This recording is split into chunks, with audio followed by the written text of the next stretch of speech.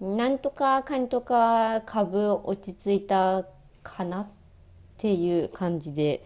ございますね。あの半導体すごいですね。レーザーテックあの昨日ファン上がって今日ストップ高になっとうしえ今日はね東京エレクトロンあれでしたねあの決算あって今 PTS 上ですかね多分明日もなんかレーザーテックみたいになんかファンって上がりそうなわかんないですけどまあ半導体がまた違うという違うというあのあの半導体ばっか言っといて思っとるあの好きなんですよ半導体えなんでかって言ったらはい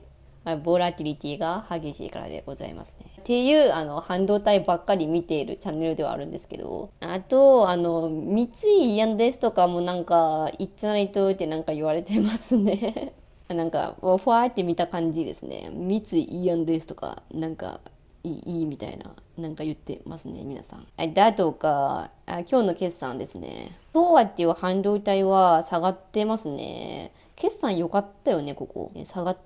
てますね。2倍増益だって。東和2倍すごい。やっぱレーザーテック PTS また上にファンっていっとうし東京エルクもおーすごい。えっと2万8300やけん。100株持っとったらばですね、持ち越した人いますか ?100 株だけ持ち越しとったとしてもですね、なんと30万とは言わんね、20何万かプラスになっているっていう状態でございますね。いや、これだからね、半導体はいいですよね。っていう。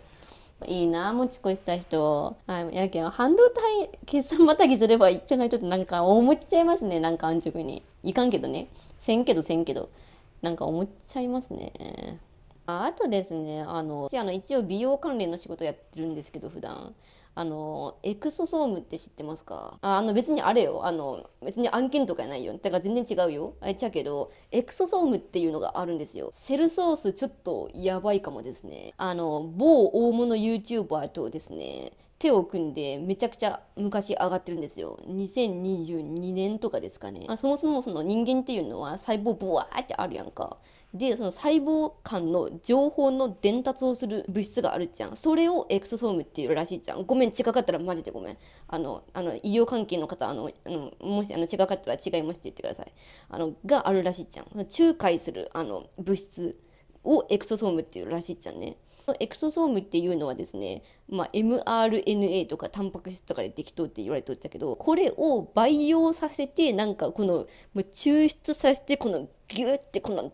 濃縮したやつを点滴でこう打つっていう美容医療があるらしいじゃんね。厚生労働省からこのような警告が出ております。まとめると有効成分も認められてないしなんなら害があるかもよってっていうやつですねがセルソースっていう会社がエクソソームをこう打ち出してめちゃくちゃ大物 YouTuber さんとなんかファーファーやっとったりしたけんちょっとこれ大丈夫とかいなってなんか思ったりしましたね。美容医療とかあの自己投資されてる方あの多いと思うのであの忠告というかもうこんなことがありますよっていう意味で言っておるんですけど、まあ、X の情報にはなるんですけどエクソソーム注入したらアナフィラキシーを起こしましたよとかっていうのもあったんで本当にエクソソームは注入に関しては本当にもうマイナスでしかないというか、まあ、無害やったら全然うん、よくないっちゃけど1回あれね45万とかするらしいけん。中には本当ポテンツァとかダンマペンとかになんかオプションとかでなんかつけれますよとかいうクリニックもあるらしいんで。っていうねあのすいませんあの美容の話興味ないですよね。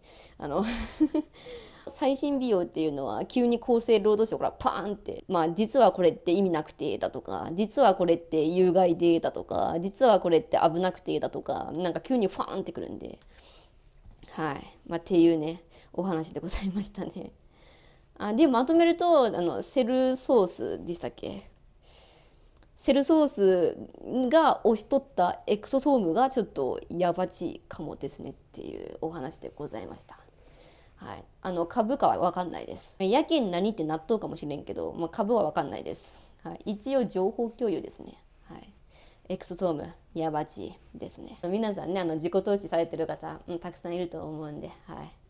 です。あのこんな感じであの株のお話をちょろちょろってするチャンネルでございますのでまた動画作ろうかなって思いますのでよかったらチャンネル登録と高評価の方していただけるとめちゃくちゃ嬉しいです。あと毎朝ライブやっております。ちょっと回線がマジでやばいです。ちょっと今光 NURO ってやつをちょっとなんかわわわわってやってます。なんか申請とかなんかやれってなんか書いてました。はい